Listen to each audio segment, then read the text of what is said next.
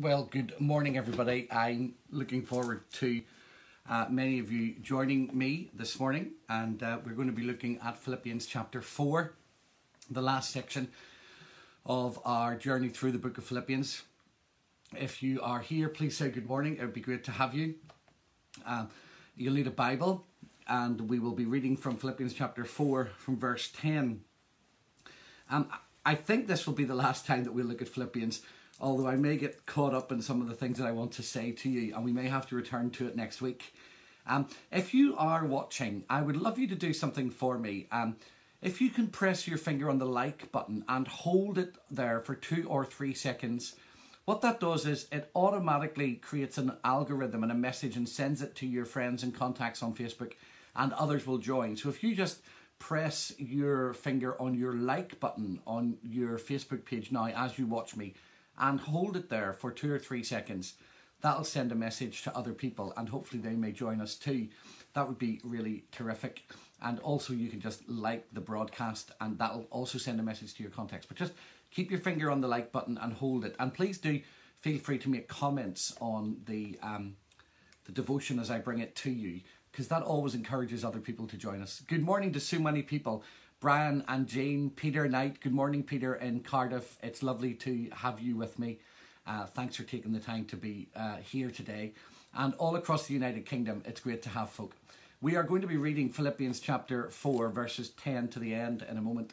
It's a remarkable passage of scripture uh, that teaches us a great deal about the grace of God and about His mercy. But you will need a Bible because there are two or three passages in 2 Corinthians that I'd also like to read uh, to you uh, because they help us to understand some of the things that Paul is saying to the Corinth, to the Philippians at the end of his letter. Um, if you do have a Bible with you, then we're going to read and pray together. So Philippians chapter 4, verses 10 through to the end of the chapter is what we're going to read. Um, let's pray together. Father, I want to thank you for people that are joining this podcast from uh, across the United Kingdom and across the world. And I thank you for the thousands that will listen to it this week. I'm so dumbfounded by the faithfulness of women and men who create this little community on a Sunday morning. And I'm so thankful to you for the power of your word and its truth in our lives. And I want to pray for every person who will listen to this and watch it, both those that are online now and those that will join us a little later. Would you give grace and strength and comfort to those that need it? Would you give courage and resilience and determination? We open our hands before you, Lord, recognizing our own frailty and aware of our need of your grace and of your mercy and of your strength. At the beginning of another week, I can say of myself, I know that in the week that is gone, I have not loved you always as I should. There are moments when I could have done more and I didn't, and there are moments when I should have done less and I didn't.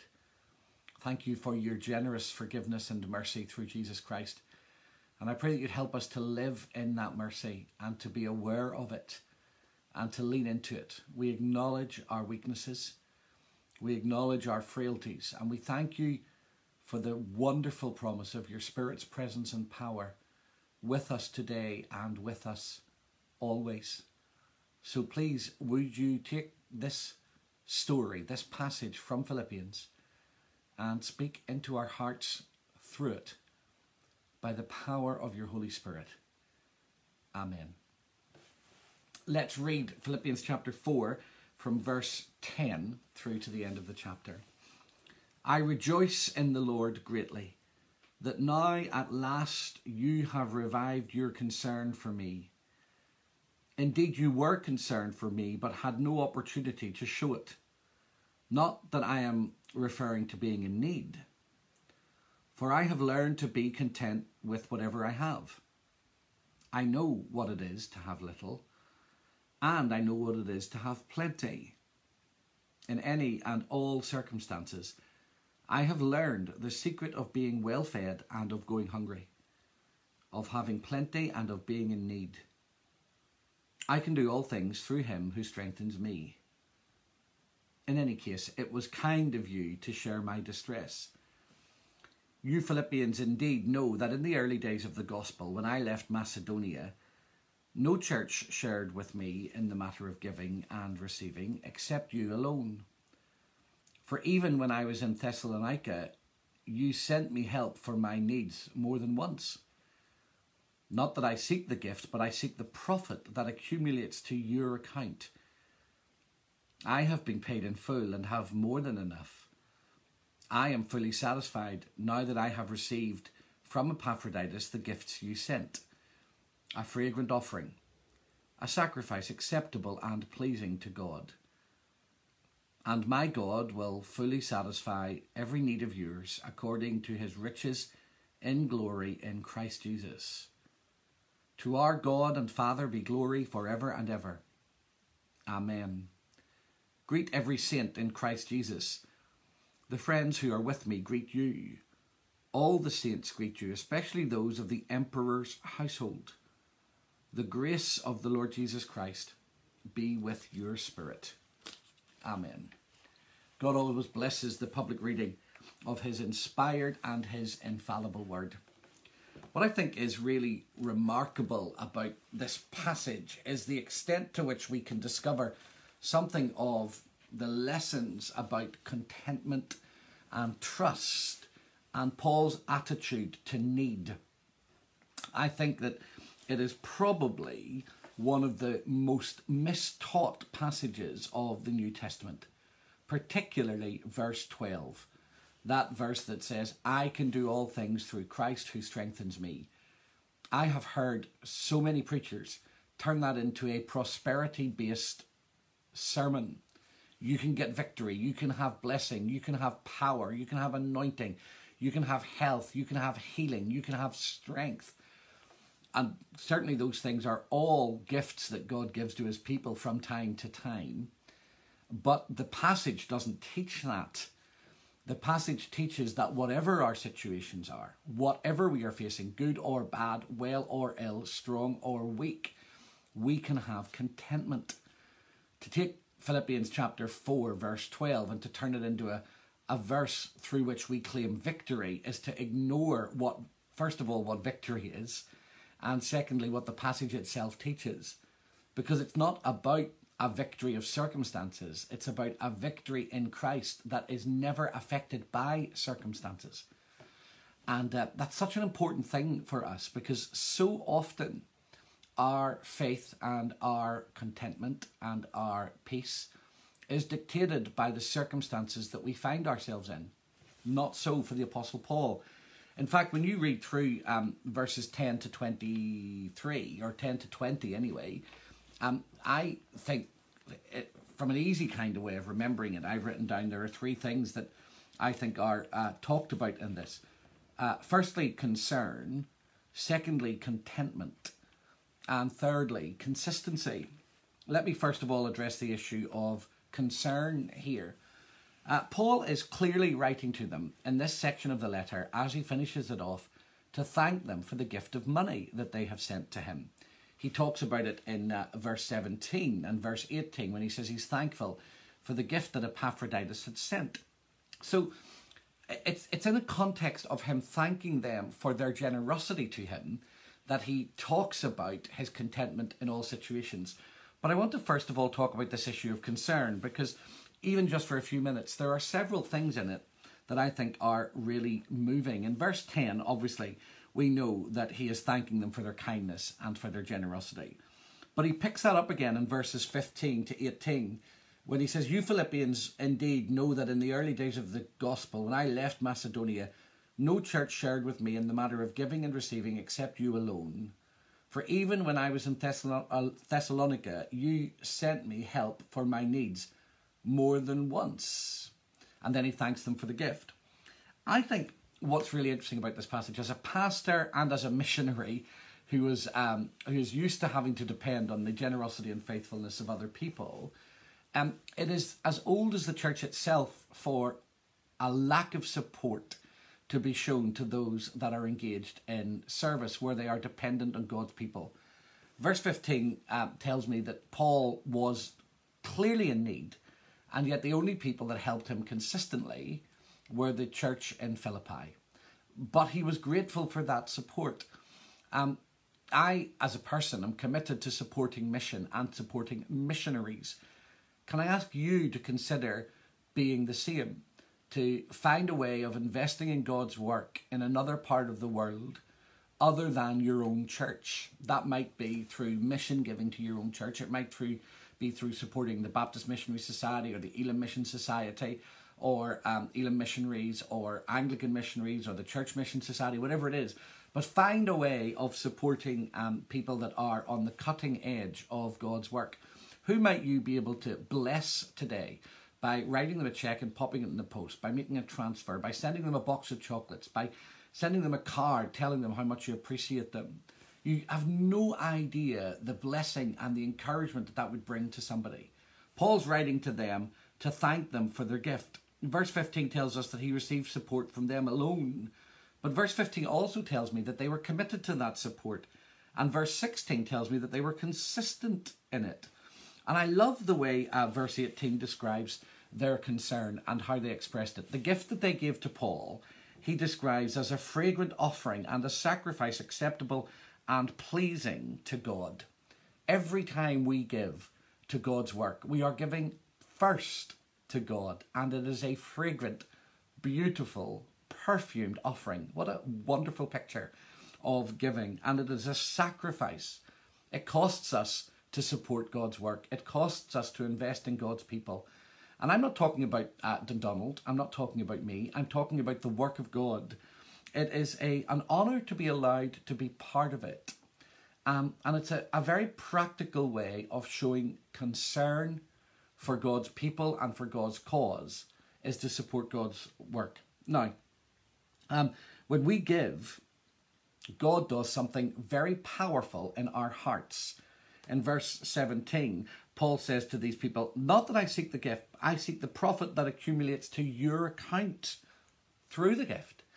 So when we give, something happens in us. We open our hearts to trust in God. We displace the idol of money and power in our spirit. And we put ourselves in a position where we can receive a, something of a deeper revelation of God's grace and mercy. We can't buy that revelation. But how we handle our stuff will demonstrate where our spiritual life really is. If we hold on to it, then we are being controlled by our stuff, by our materialism, by our things. If we are afraid of giving, if we're afraid of releasing, if we're afraid of letting go, then it's a clear demonstration that actually our security lies in our stuff, not in who God is. But if we are open handed with our stuff, then we learn to trust in God's grace and God's provision and God's kindness more.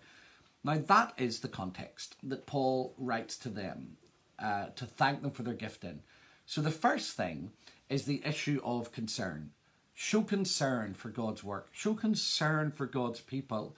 If you know someone who is ministering for the Lord and is dependent on the salary or the income of a local church or of um, missions giving or whatever, be generous with it. Now I come to this issue of contentment, which is such a, a powerful thing in this passage. And it's really picked up in verses uh, in verse 12, almost verse 12 alone. Although there's a parenthesis in it. In verse 11, Paul says, Not that I'm referring to being in need. And in verse uh, 17, is it? Yep. Not that I seek the gift. In other words, Paul's whole argument around um, concern and contentment is rooted in his trust in Almighty God. Um, verses 11 to 14 are really important here. And if you're online, press that like button again and hold it because this is a really important principle for people facing life, not just about money. This is about circumstances. This is about situations. This is about daily um, pressures and burdens and hassles that we face and how God can help us through them. It is such an important spiritual lesson that if we get it, something is fundamentally changed in us. So I'm going to read verses 11 to 14 again, and then I'm going to comment on them. Not that I am referring to being in need, for I have learned to be content with whatever I have. I know what it is to have little, and I know what it is to have plenty. In any and all circumstances, I have learned the secret of being well fed and of going hungry, of having plenty and of being in need. I can do all things through Christ or through Him who strengthens me. They are really important verses. Fundamentally, Paul's demonstrating his heart and his attitude was one of trust. The word for contentment here is what's called a hapax legomenon. That means that it only appears here. It literally means in Greek written once or once written. It doesn't appear anywhere else in the New Testament. And it's it's the word autarkes, and it means, and this is going to sound odd to you, but it means fundamentally self-sufficient. Now, I don't think that we can take that as meaning that Paul is self-sufficient. I think when you read the context, what he is saying here is, I have learned that in the end, I must make a decision to trust Christ in the circumstances that I find myself in. No one can make it for me. My wife can't make it. My children can't make it. My family can't make it. My church can't make it. In the end, when I face a set of circumstances that are blessings or that are challenges, I must make the decision for myself. I must find the resolve. I have to find a way of knowing what it is to be able to trust God on my own, make the decision, and place the trust in Him. Verse 11 makes it very clear not that I am referring to being in need. Now we know that Paul is in need. He has been in need. He's writing this letter from a jail. He has uh, faced many circumstances that are difficult, and I'll come back to that in a moment. Yet, in verse 14, we see here a deep sense of thankfulness, a profound sense of thankfulness for the gift that the Philippians have sent through Epaphroditus. He says to them, in any case, it was kind of you to share in my distress. And he had genuine needs. We know that from verse 15 and following. And yet, he has contentment. I have learned what it is to be content in all circumstances. If the letter is couched in an atmosphere of concern, it addresses the issue of contentment. Now, listen to the couplets of verse 12 for a moment. He talks about being content and knowing what it is to have little and to have plenty. That's the first couplet. The second couplet is to be well fed and to be going hungry. That's the second couplet. The third couplet is having plenty and being in need. In other words, Paul's contentment is rooted in something other than his circumstances.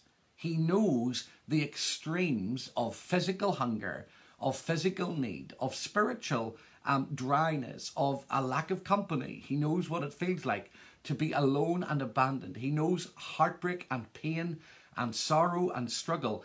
Yet he has not been given contentment.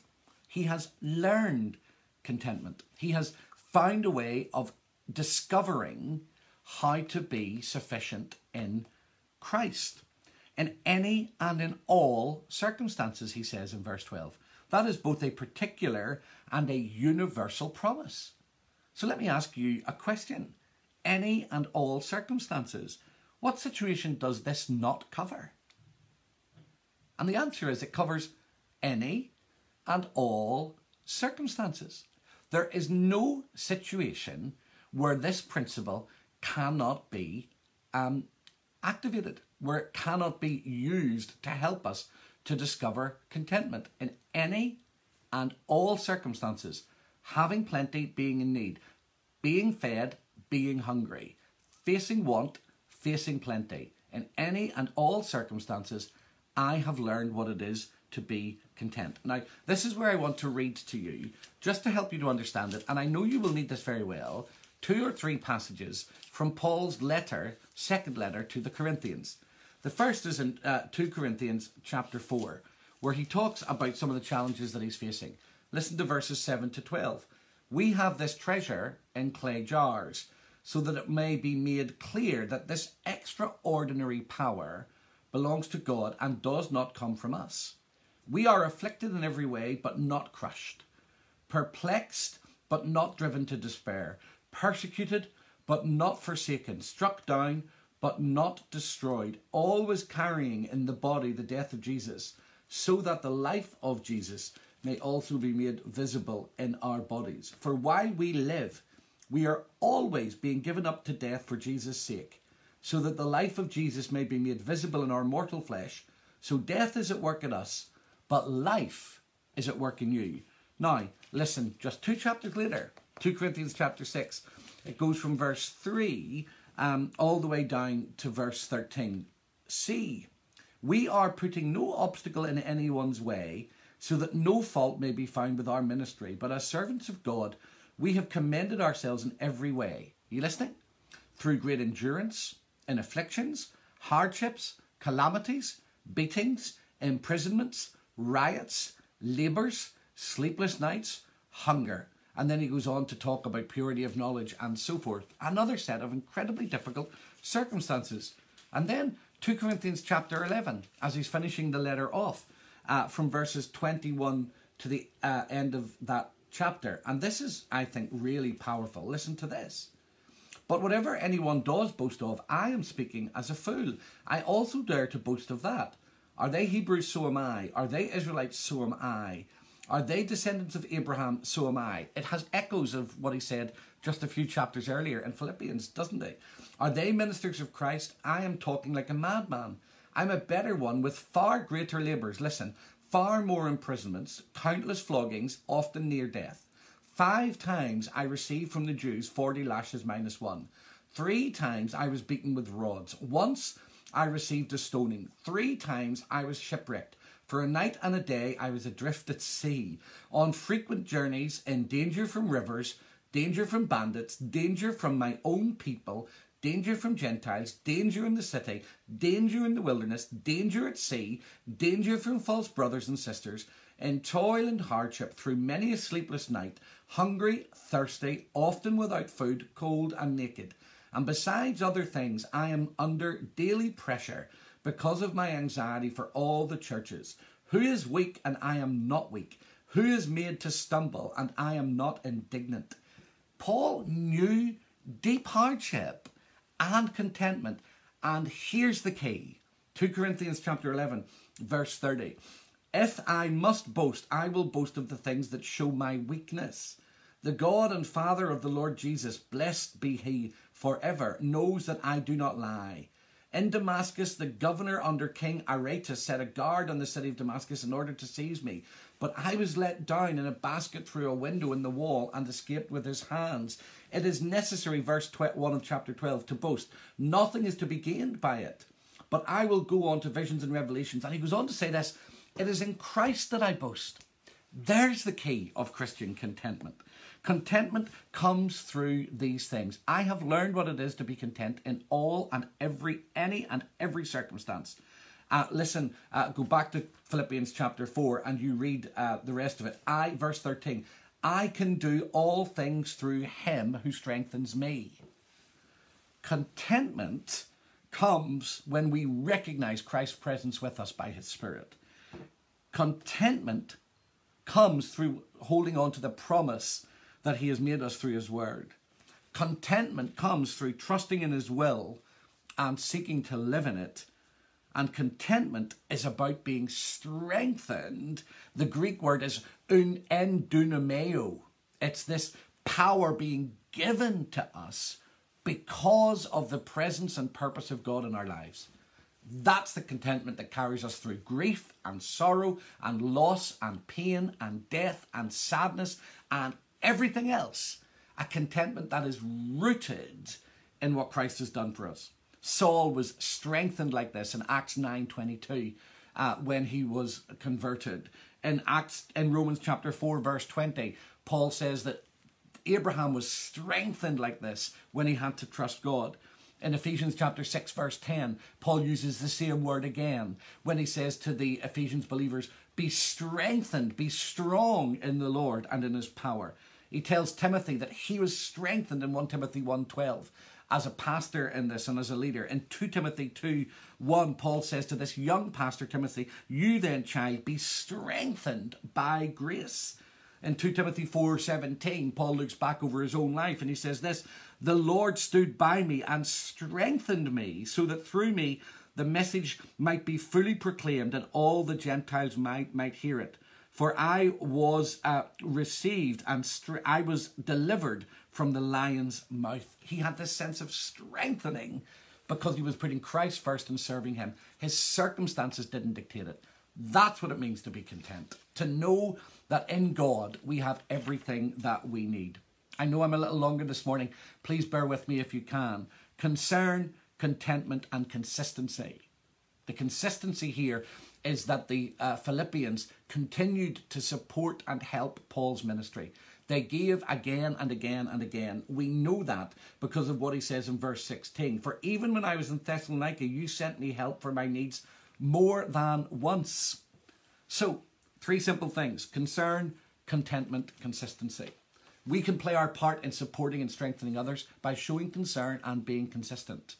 But we can discover contentment by finding ourselves in God and allowing His purposes and His plans to be central in our lives. I'm going to finish off uh, Philippians by looking at verses 21 to 23 just now so that I can start something fresh with you next week. And in verses 21 to 23, Paul says goodbye, but the way he says goodbye is beautiful.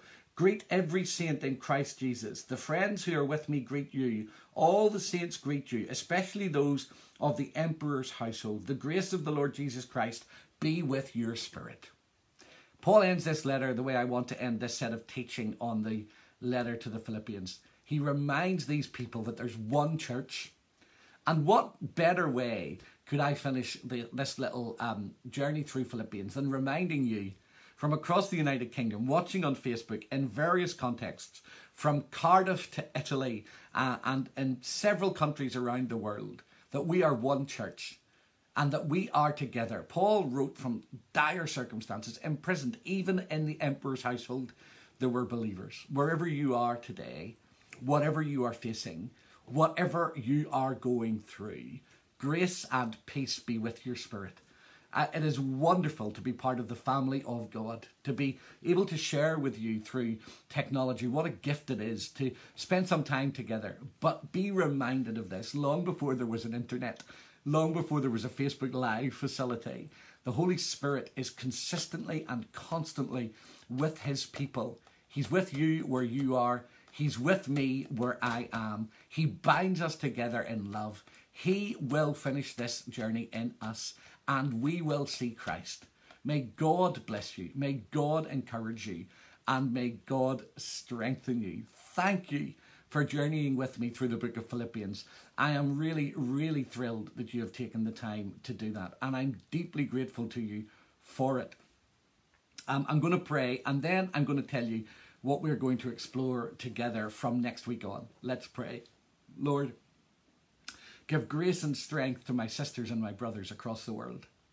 Thank you for their consistency in joining with me week by week. Thank you for their encouragement, for their help, for their affirmation, for their support. I pray that the words of this little season of teaching in Philippians will have blessed and encouraged them, and that they will know your grace and your mercy and your strength. And I ask you, Lord, to pour your Spirit out upon them by your power and to remind them of your mercy and your majesty. And may each one of us today know your grace and your strength. In Jesus' name, Amen. Now, I'm going to stay online afterwards just to chat with some of you as much as I can for about 20 minutes or so. Uh, please share this uh, little video. Let people know that you've seen it. Just put it onto your Facebook page and uh, tell them something about the whole series. I can't believe that we're finishing this little series on Philippians. Next Sunday morning, I'm going to start a, a journey through da da da da the book of Ephesians. We're going to journey through uh, chapter by chapter and see what God might teach us as we take a devotional expository journey through this wonderful book and see what God might uh, inspire us with, remind us of, and encourage us by. In the meantime, wherever you're going to church, I'm going to be preaching in Dundonald at 11 on the Sermon on the Mount on being salt and light. We're doing a series on that. You're welcome to join us on Facebook, um, on our Facebook page, Dundonald Elim Church. And then tonight, I'm going to be preaching on living free from regret. What a, an inspiration God's Word is, and what a privilege it is to share it with you. Thank you so much, and God's richest blessing on your life today. Bye for now.